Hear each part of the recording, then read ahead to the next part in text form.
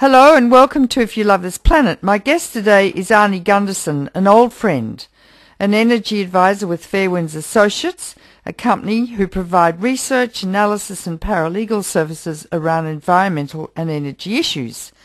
Arnie is an independent nuclear engineer and safety expert. He provides testimony on nuclear operations, reliability, safety and radiation issues to the Nuclear Regulatory Commission, congressional and state legislatures, and government agencies and officials throughout the US, Canada, and indeed internationally. He's been a leading voice globally about the impact of the Fukushima nuclear disaster, and he joins us now once again. Welcome to the program, Arnie. Hi, Helen. Thanks. It's nice to be back again. well, now, um, I needed to get you back because you've been saying some new things about Fukushima and I've got quite a lot of questions too. So I think, as usual, you need to give us a complete update of units 1, 2, 3 and 4, where they stand, what your thinking is now and the like, please, Arnie. So the floor is yours. Oh, okay. Thank you. Um, well, let's go 4321. That's um, for a change. Um, unit 4, the walls have been knocked down. Um, and uh, and that's a good thing. The plan is. What do you mean the walls have been knocked down? I don't know what you mean by that. Ah, well, the um, you know the explosion kind of devastated everything uh, for the last two floors of the nuclear reactor. So they've they've ripped out the remaining structures, and they um, uh, they're down at what we would call the operating floor. Well, you mean the building the building still stands, but they've taken out the two upper floors. Is that right?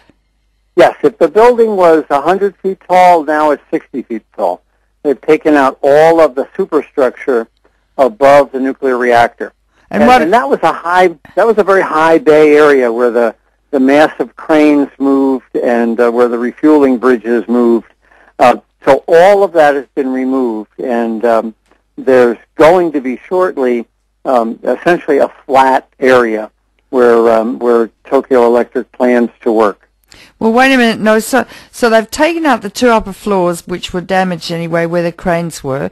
So you're left with the reactor containment vessel, and next to which is the cooling pool full of over 100 tons of very radioactive fuel. Is that right? Yes, that's absolutely correct. Right. Now the, the plan is that once they do this, they'll build a building on top of the the rubble that's still there, the the, the refueling uh, pool especially. They will use the um, uh, existing foundation to uh, on one side, on the water side, uh, and then they'll build a new foundation on the land side to build a new bridge for this huge crane. Remember, there was a crane in there, but it collapsed um, and uh, so they'll have to um, put a new crane in. The reason it's such a monumental job is they need a crane that can lift a heavy spent fuel cask, and that weighs something on the order of 130 tons. So it's a huge crane. What? What? What a so, spent? What uh, is? Are you talking about a spent fuel bundle, or I don't understand what you mean? Uh, well, each bundle will have to get lifted and put into a shielded container underwater. Yeah. So as soon as those things come out of the water, uh, they're so highly radioactive they would they would kill the people on the operating floor. So all of this has to be done with the fuel pool full of water. So they'll lift out one bundle at a time, and of course the question is: Are the bundles distorted because of the heat, or have they been damaged because of all the rubble that fell into the pool? Uh, but in theory, anyway, they'll be able to go down and grab the bundle, pull it out, still underwater, carry it to the side of the pool, and in underwater still, there'll be a huge canister. They'll lift the fuel into that huge canister, put a lid on it. That huge canister weighs something like a hundred tons. Oh. So lift that up, put uh-huh. that in the big crane, and lower that to the ground and that will have to occur dozens of times and over over you know perhaps a year when they have to empty that fuel pool. Well then okay, so wait a minute. each fuel bundle will be lifted up underwater, and they'll they'll have to bring. Uh, the canister is not yet in the pool, right? They'll have to make the canister and put it in the pool, ready to receive each fuel bundle to be then transferred to the ground. Is that right? That's right. That's right. So goal number one on that site is to get that pool empty. And it will take, um, once the building is built, it will take a year or two. So it's, they're not out of the woods by any means because if there were a seismic event and the pool were to drain, they could still have a, a fuel pool fire and, and uh, you know, contaminate uh, the, the entire country. So it's, it's um, improving because they are in the process. But, you know, Helen, they, they finally figured this out this year I was on Chris Martenson's show back in June of last year in 2011, and I was saying you've got to build a building over the building. Yeah. And um, so they're very slow, and unfortunately, Mother Nature has her own timetable. So um, I view this as a battle against the clock, and I hope that uh, you know there won't be any major earthquake to destroy the building again. Well, now, um, how long is it going to take? to reinforce the building, you say they've got to build a new wall on the far side from the ocean, on the land side, to rein to make it strong enough to be able to put this incredibly heavy crane on top of the building. How long will it take A to build the building per se before they, they claim it'll take a year. A year. They so you've got a year to build the building. Then they've got to put the crane on top of the building. That probably won't take so long, right? Right. It's something on the order of 18 months from now they'll be able to move fuel. 18 months so before they move the fuel, and then it's going to take another year to totally remove the fuel from the pool. So we're talking right. about two and a half years. We're talking 2015 or 2016 before oh, that job's done. Yeah, yeah. So it's a and race. the last fuel, yeah. the last fuel they move is the most radioactive, which is still the most dangerous. So removing the fuel at the beginning is actually the easy part. The the last fuel is the newest fuel and is physically hot and of course has the most radiation. So that fuel will be the last stuff they move in perhaps 2014 or 2015, right? So, when they get it down to the ground in this container weighing 100 tons, and, and each and and and they move one fuel bundle at a time. How many how many fuel rods in a fuel bundle, Arnie? Um, well, there's nine by nine, about eighty. Eighty. You know, Ninety, yeah, eighty rods in a bundle, and you know, there's um, over a thousand bundles. So how that, much does a bundle? How much does a bundle weigh? Around a ton. A ton.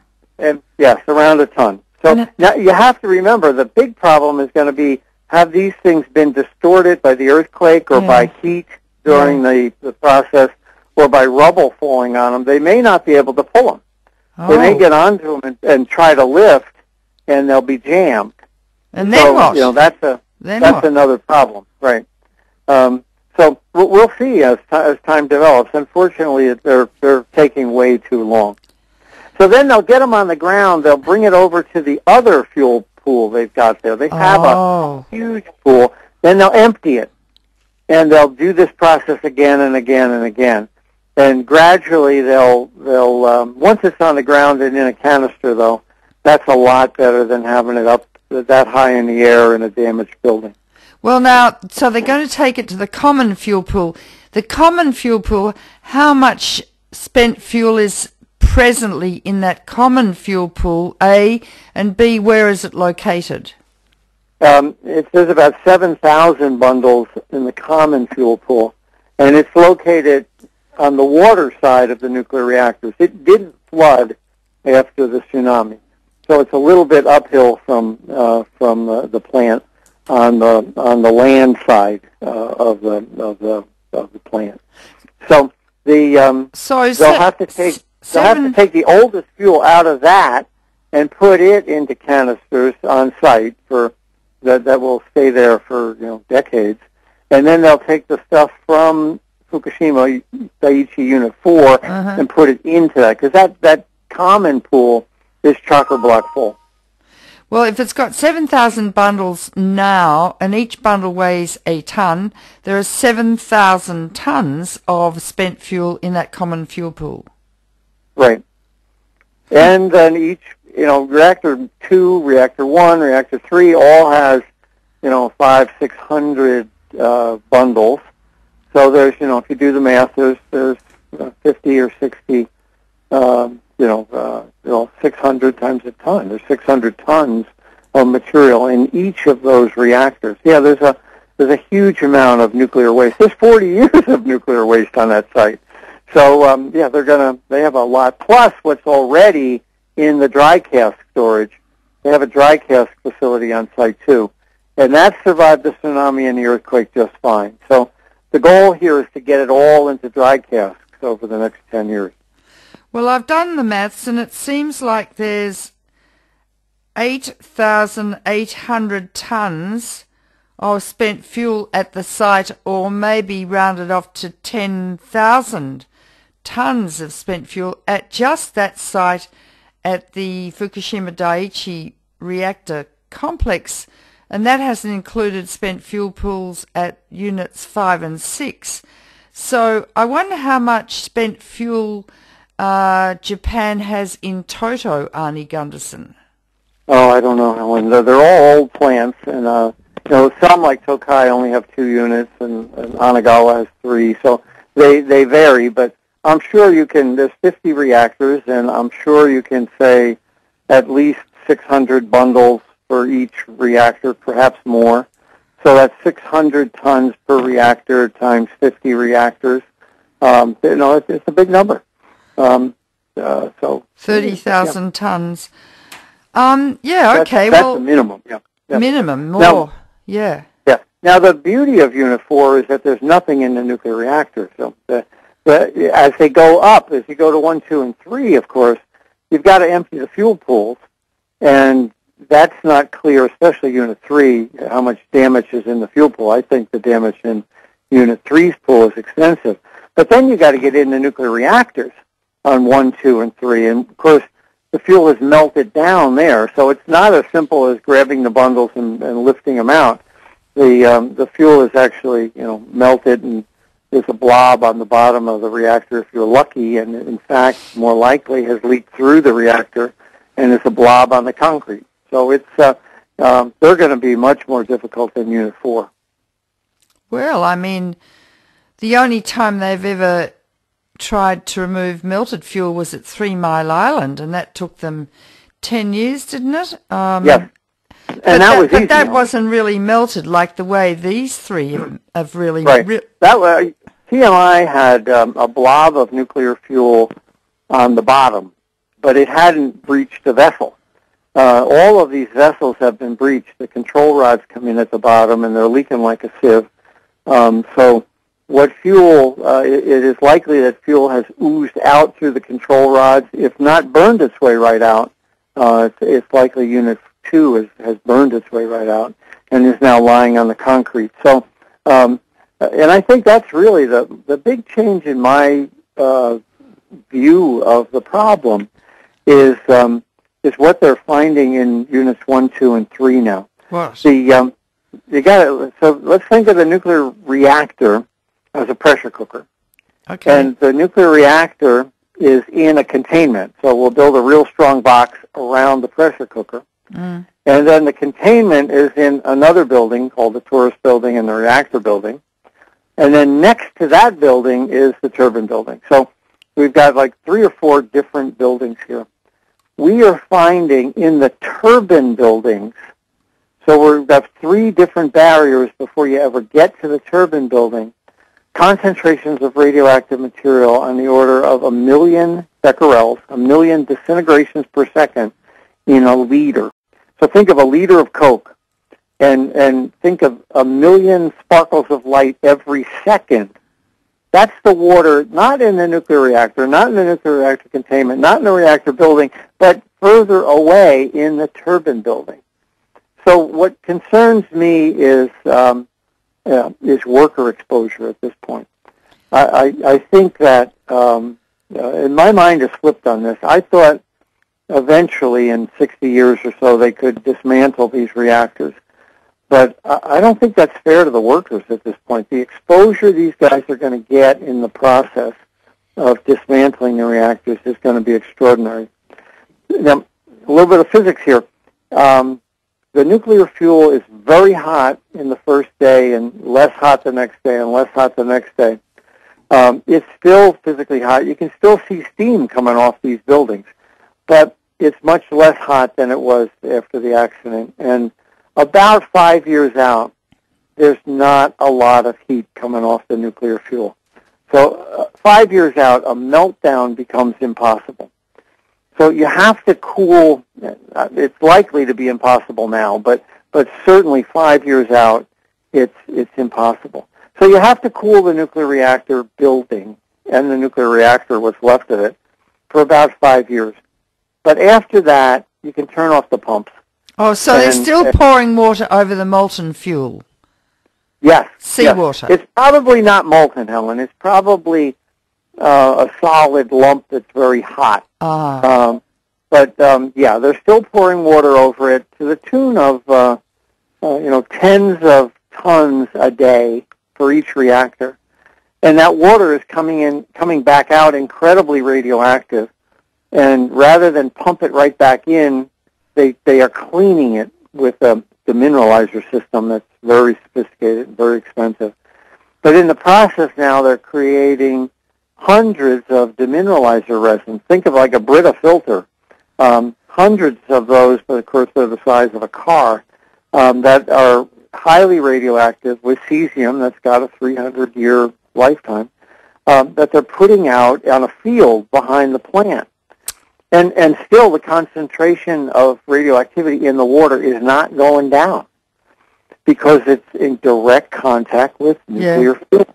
Yeah. So they've they've contaminated the reactor, the the the, the bottom of the containment, the torus, which is that donut-shaped thing, the uh, reactor building, which is outside that, the thing that blew up, the floor of that is contaminated, and the building next to it, the turbine hall, is uh, should be the least radioactive, and it's still a million disintegrations per second for every liter.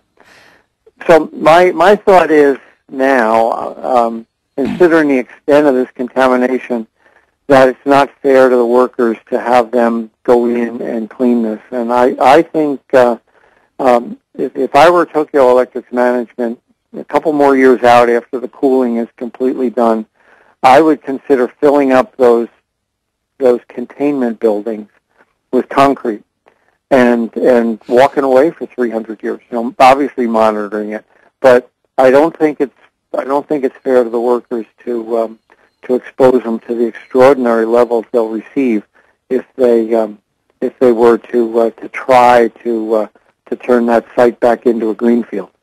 They couldn't turn it back into a greenfield. That's ridiculous. But anyway, yeah, you're right.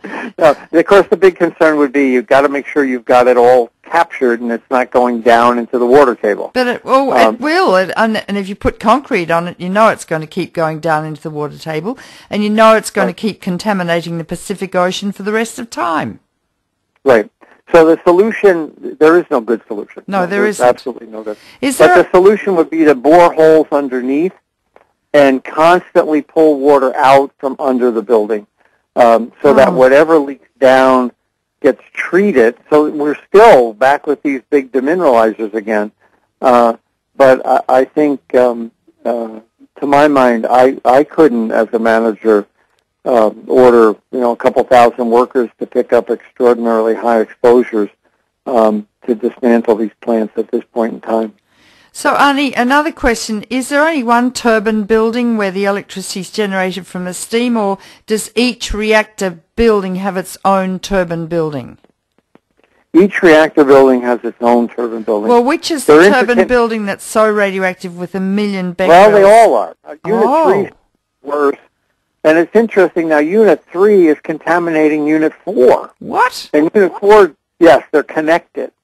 So we're finding water from Unit 3 leaking into Unit 4. And you know if it's leaking between the buildings, it's leaking into the ground next to the buildings too.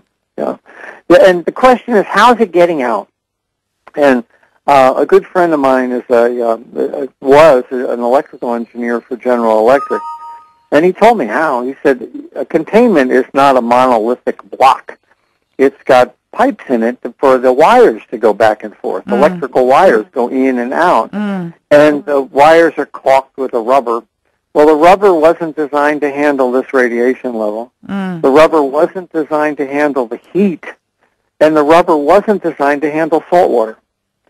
So all of these electrical penetrations between the reactor and all the other buildings on the site are leaking and are causing this radioactive material to move everywhere on the site. Oh, I'm a little bit speechless. Okay, my next question. Uh, so, it, the three turbine buildings each are exhibiting a million becquerels per litre of radiation. Is that correct?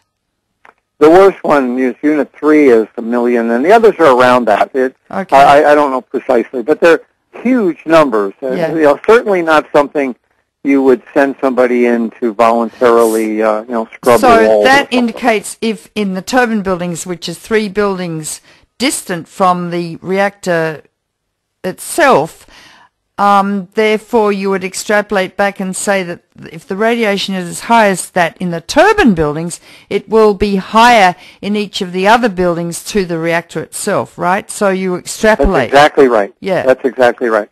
You know, and, and if they dismantle this building, they still have the same radioactive material. Now they've got to move it someplace where it's clean. That doesn't make a lot of sense. So it very well may be that the Japanese will say, okay, we we made a huge mistake, uh, and but we're going to use the Fukushima site as the ultimate waste repository for everything we're finding on the site. Right Rather than contaminate another location, yeah. this one, let's just call it a sacrifice and walk away. Yeah, but then you're sacrificing the Pacific Ocean and the people who eat the fish from the ocean and the people on, on the west coast of America and people in Australia because the fish swim everywhere. I mean, you are sacrificing the Pacific by leaving this stuff there for the rest of time, which will leak and drain consistently into the Pacific. You're you're right. It needs to be constantly pumped out for 100, 200 years until they want to go back in and dismantle it. Yeah, but you know, um, what are what are our descendants going to say? There are three generations per hundred years. So, say for the next 300 years, that's nine generations of people. How will they be thinking? will they be doing it? Will they want to do it? Will they have the will they have the apparatus to do it and the knowledge and you know I mean, we are assuming an awful lot, Arnie. We're assuming people nine generations from now think the same way that we think. I know, we, and we also think that society will be functioning 300 yeah. years at at least as high a level as we are. Um, and um, uh, and we also have to figure where's all this money going to come from. Um, I don't see the international uh, community saying, "Here, Japan, here's a half a trillion dollars." It's coming out of the Japanese treasury. Now, they're not admitting that. The Japanese are not admitting that their treasury is going to take a, a half a trillion dollar hit. You know, that right now it's uh, 10 trillion this month or 10 trillion this quarter and 10 trillion another half a year out. But nobody's looking at the big picture and realizing that, I'm, I'm sorry, 10 billion, 10 billion, 10 billion. Mm. Nobody's looking at the big picture here and saying when you add up all of this for 50 or 60 or 100 years, you're looking at a half a trillion dollar expenditure. Um, Japan's population is aging and declining, so they're carrying a huge burden on an aging, uh, shrinking population. It's uh, it's not a it's not a great situation, that's for sure. Well, let alone the number of malignancies and diseases that are going to accrue from this accident. I mean, we know that the data from Chernobyl shows that within the first 25 years, up to a million people have died. And we're going to talk about the next 300 years or 600 years as long as cesium remains radioactive. But there are other elements that remain radioactive for hundreds, thousands, if not millions of years. And they're similarly in the mix, as is the cesium. And so if you, and, and you have said yourself, Arnie Gundersen, that you think the Fukushima releases of radiation were 2.5 to 3 times greater than those from Chernobyl. So, and the Japanese population is much more densely situated than people living around Chernobyl. So if you multiply 1 million in the first 25 years by 2.5 or 3 from your data, you could end up with a figure like 3 million people dying in the first 25 years in Japan. Oh, well, I'm at a million. I am, uh, um, you know, feel the nuclear industry uh, is, is obviously throwing barbs at my number, but they're claiming that maybe 100 people will die of cancer. Oh, that's ridiculous. But uh, I use Steve Wing's data from Three Mile Island. And, uh, you know, he shows pretty clearly that 10,000 people died of cancer from Three Mile Island. And, of course, we know a million at, at, uh, at Chernobyl. So it, it seems to me, based on the fact that we had larger releases after Fukushima in a higher population zone, uh, that, um, that a million people is certainly uh, credible. The, the difference around Chernobyl is that on one side of Fukushima you have water, where mm. Chernobyl was land all the way around. But um, um, it's uh, you know, but the, the the industry knows that the uh, um, there there will be Japan's got a population of 140 million, and if you um, about about a third die of cancer, so you're looking at roughly 40 or 50 million. Over that time period will normally die of cancer. So if I'm right and there's a million people, that's only a 2% increase. And so it will be extraordinarily hard to measure if you're not looking for it. Oh, but and people will be, they will be doing epidemiological studies, and I think that you're underestimating that number because do you still stand by your data that 2.5 to 3 times more radiation escaped from Fukushima than Chernobyl? Well, that was uh, certainly, uh, I'm certain of that for yeah. the noble gases. Yeah. For the xenon and krypton, um, there's, there's measured data um, in the northwest quadrant for the first week of the accident, yeah. where every cubic meter, you know, three feet by three feet by three feet of air was um, was a thousand becquerels per um, a thousand disintegrations per second for every cubic meter up that way. Now that's got to be causing you know lung cancers and and uh, whole body exposures that the industry's not willing to uh, to address. The other thing is that they found that um, um, apparently on March uh, 16th, um, Unit 2 um, had an internal explosion. It looks fine. If you look at Unit 2 from the outside, mm. it doesn't look bad at all. But it cracked the containment at the same time the operators had all of the vents open in the nuclear reactor. And a huge cloud of radiation was released on the 16th, and the wind was blowing toward Tokyo. Right. Now, there's there's not a lot of radiation monitors that early in the accident. You know, there's chaos within Japan and Tokyo Electric, and yet no one is re- really willing to say, "Oh my God, what was the exposure in Tokyo on March 15th, 16th, 17th?" Um, there's not a lot of good data, and what data there is, uh, the Japanese are consistently downplaying. They're they're underestimating the um, the exposure. But you know, I was in Tokyo back in back in February, and I found on the ground uh, 7,000 disintegrations per second in every kilogram of soil. That that would qualify as radioactive waste in the states, and uh, and the Japanese government is saying, you know, don't worry, be happy. Um, uh, smile.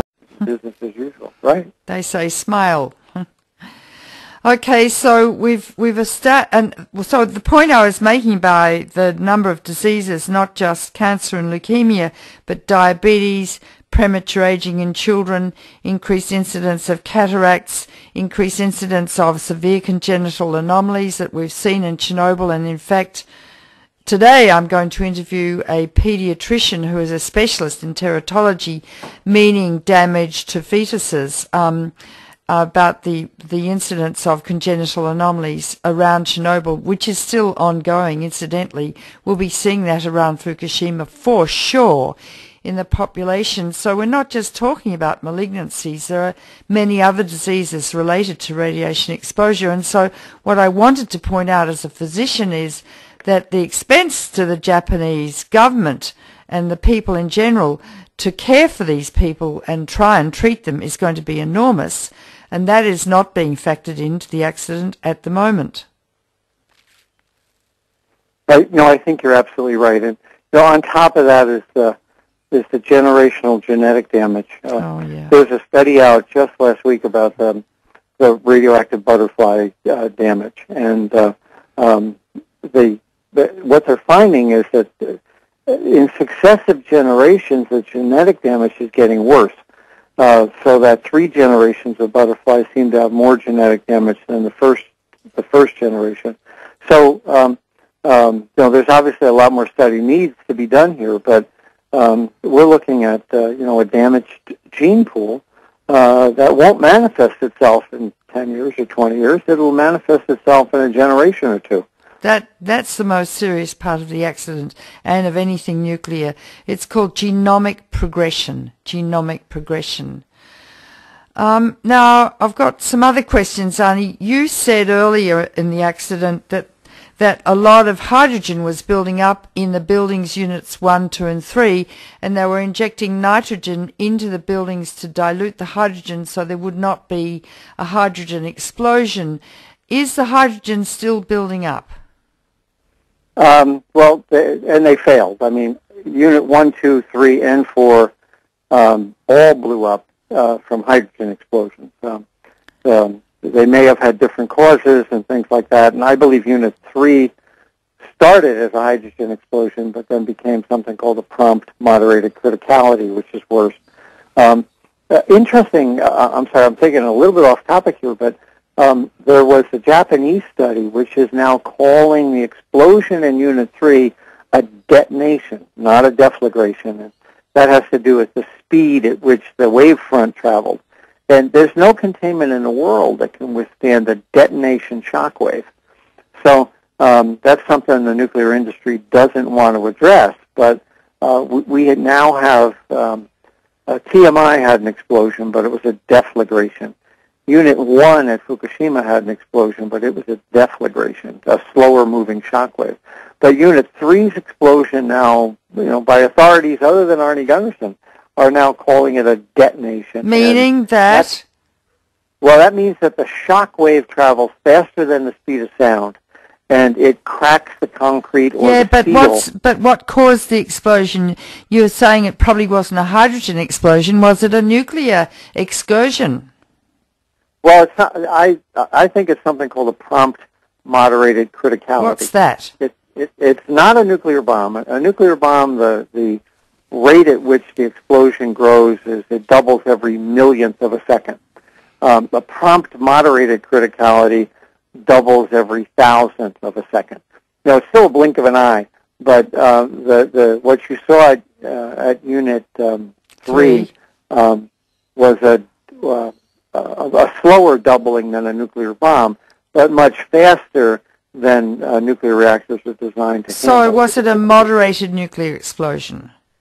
The moderated means that the neutrons left the the uranium atom uh, very fast, but then they they bumped into water and they attenuated and became what we call thermal neutrons. So we're really getting into a lot of nuclear physics here, but the, the net effect is that the growth rate of the explosion in Unit 3 was was moderated, which means it doubled every thousandth of a second. But it was a so nuclear in, in, explosion. It wasn't not hydrogen, but nuclear. Would you say that? In my opinion, it was a prompt moderated criticality. Which I'm not going to call it a nuclear explosion because that that would be a prompt unmoderated criticality, and and I don't believe that happened. Uh, you know, but it the, was the related bomb, to the nuclear fuel. Yes, but it was it, the rate at which it grew. I won't call it a nuclear explosion. Okay, you're being very careful, Arnie. but you still haven't uh, you still haven't answered my question. Is hydrogen still building up in units one, ah, two, and three? Please. You're right. I haven't answered. Yes, uh, hydrogen still is building up um, because of electrolysis with water. The the gamma rays from the fuel are crashing into water and uh, creating oxygen and hydrogen. So they still have to inject nitrogen into those vessels all the time. Oh. Um, so you'll see that, um, uh, as a matter of fact, just recently they put a little bit too much nitrogen in, and they wound up with these puffs of radiation coming out. If they put in too much, um, they'll squeeze too much radiation out. So they're trying to maintain the nitrogen without forcing more and more radiation out. But the containments are leaking like sieves, and and uh, again, for five or six or seven years, um, they're going to continue to create hydrogen, and the only way to to prevent that from exploding again is to um, is to feed in nitrogen, which is inert. So there, therefore, still is a risk of a hydrogen explosion in units one, two, or three. Yes. My God. What about steam explosions? You talked about that initially too, Arnie Gundersen. Yeah, the, the decay heat is now low enough um, that um, the the the um, uh, that the blob is sort of hot but solid, as opposed to molten. Uh, so uh, we won't get steam explosions at this point. We're uh, far enough along in the accident where these blobs of nuclear fuel are still physically hot, but not hot enough to um, uh, to turn into molten lava anymore. Okay. Now, how much radiation would you estimate is still escaping every day from units 1, 2, and 3, which are leaking like sieves, to quote you? Oh, geez. Um, I'm sure it's, um, yeah, it wouldn't surprise me if it's a billion becquerels a day um, from, you know, from both water and, and gaseous. So, a, you know, a billion disintegrations per second of radiation um, in a day. And of course, once that billion leaks out, it's going to continue to to decay, but just not in the reactor as it moves around the world. It will uh, continue to decay. Now, a billion's a big number, but the the initial accident had uh, you know about 12 more zeros behind it. So compared to the first day or week of the initial accident, is small, but compared to an operating nuclear plant where everything is just fine, it's huge. A billion so, um, becquerels per day, because you said a billion disintegrations per second. That's not a billion becquerels per day. No, a billion disintegrations per second per day. So every um, day they're gonna they're gonna be releasing about a billion becquerels of, uh, of radiation. Oh, one billion becquerels. Okay, because yeah. a becquerel is a becquerel is a billion. A disintegration per second. A disintegration per second. So, uh, so initially, what was the size of the release? You say you've. Oh God, it had 15 zeros behind it. Uh, so I don't even know what that one, number two, is. three, four, five, six, seven, eight. I think nine, they, they're measuring 10, it in 11, petabecquerel. Um, What's a terabecquerel? Like, that's 15 zeros. 15 zeros. It was like 100,000 petabecquerel. So it's pushing 20 zeros worth of, uh, of zero, you know. 20 just, uh, zeros. 20, 20 zeros. Yeah. Per put a day. one with 20 zeros behind it, and that's roughly. I don't have my calculator here with me, Helen, but it's uh, it's it was a it was a hundred thousand um, petabecquerels, and a peta is 10 to the 15. Peta, peta, petabecquerels. Yeah. So that's one by 10 to the 20. One by 10 to the 20. Roughly, yeah. If it's one by 10 to the 18th, it really doesn't matter. It's such a huge number. Um, and what are the what are the elements cont- pr- producing that uh, extraordinary amount of radiation? Well, name you know, them. Uh, initially, the initial burst, of course, were xenon and krypton, noble gases, and you and I talked about that. And they're fat soluble, and you use them in uh, in hospitals yes. to um, um, very, course, very high energy gamma emitters, yes. Yes. Then, of course, after that comes the iodine. Um, now, that only has an eight-day half-life, but it's selectively absorbed by um, uh, by thyroids. There's a good study out, uh, I think last week, that shows in Hiroshima victims, the kids continue to have thyroid problems, you know, up into their 50s and 60s and 70s. So um, the it used to be thought that if you got through the first couple of years, you were out of the woods. But for the children who are, you know, whose thyroids are growing, um, um, apparently that's not true, and that they're seeing continual thyroid problems, uh, essentially for life, for the kids that were uh, attached uh, who had the yes, they the, still iodine. the yeah. the children in Hiroshima and Nagasaki who were affected mostly by external gamma radiation. There wasn't a lot of internal radiation from radioactive iodine. Even now, so many years later, how many years is it? It's 45, it's uh, Well, 50, the 60, 60 years later, are still Yeah, developing thyroid cancers. And um, one third of thyroid cancers metastasize and kill their the patients. Um, so, but we're also now seeing within the first 18 months after Fukushima, they've examined 18,000 children under the age of 15 or 18 in Fukushima Prefecture. 30 no 38,000 sorry 38,000 or so and 36% of them are th- showing thyroid cysts and or nodules by ultrasound examination and they are not being biopsied to see if the cells are malignant. That is really gross medical irresponsibility. Um, and they're downplaying it and they're not uh, really informing the parents what it means. Um, The, the number I heard in comparison is a, a normal population of children of that age has 1%.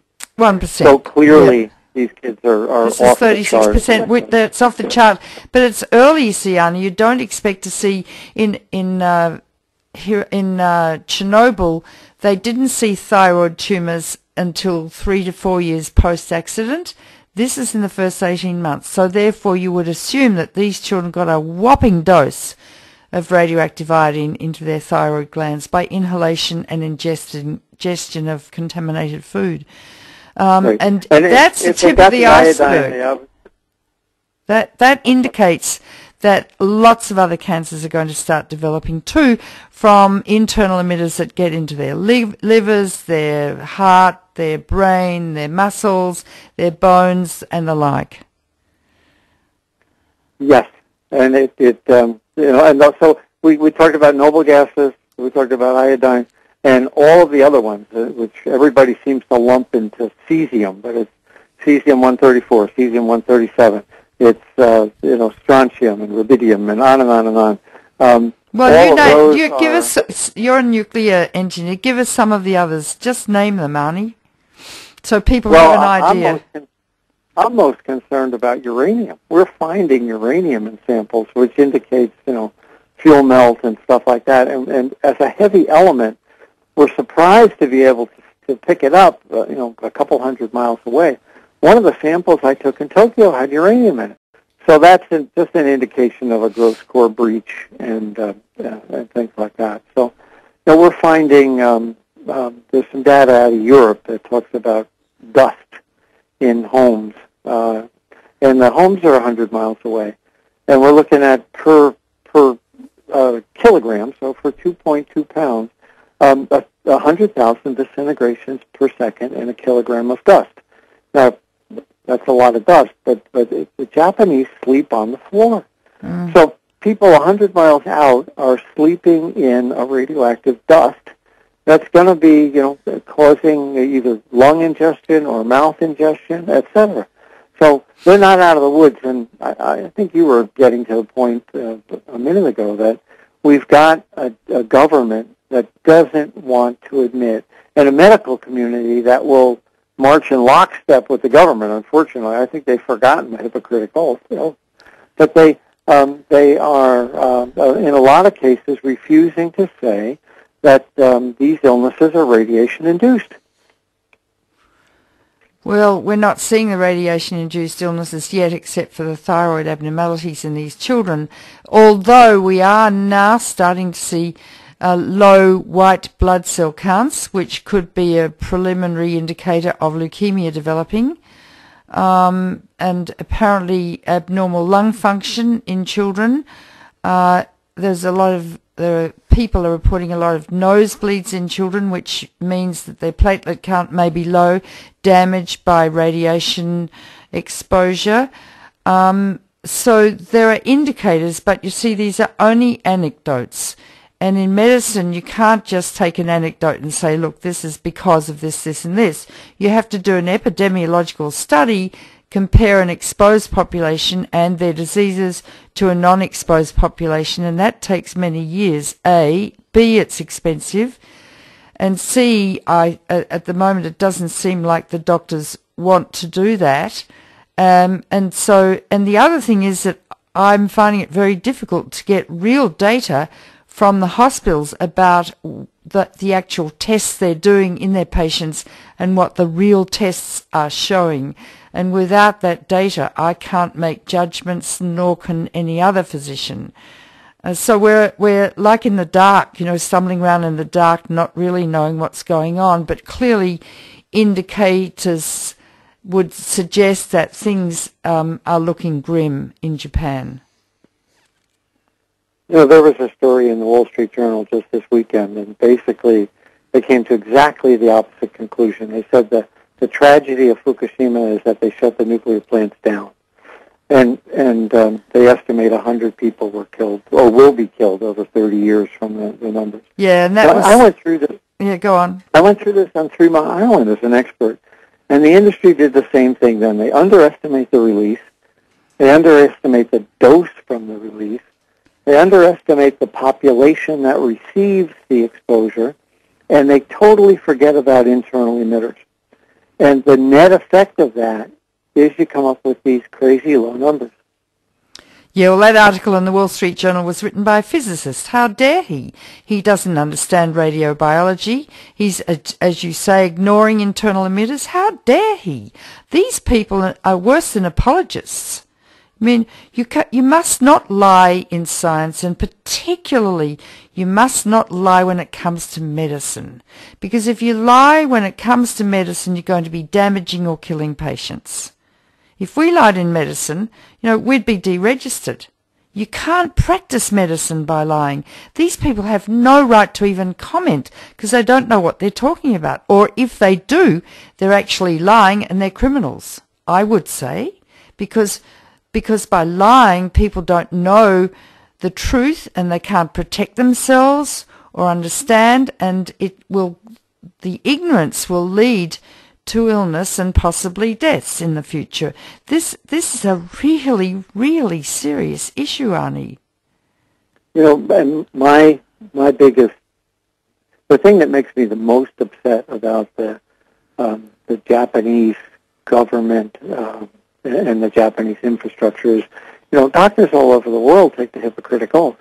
It's Yeah, not it's- hypocritic, it's Hippocratic. Actually, through. It sounds like hypocritic, but it's Hippocratic.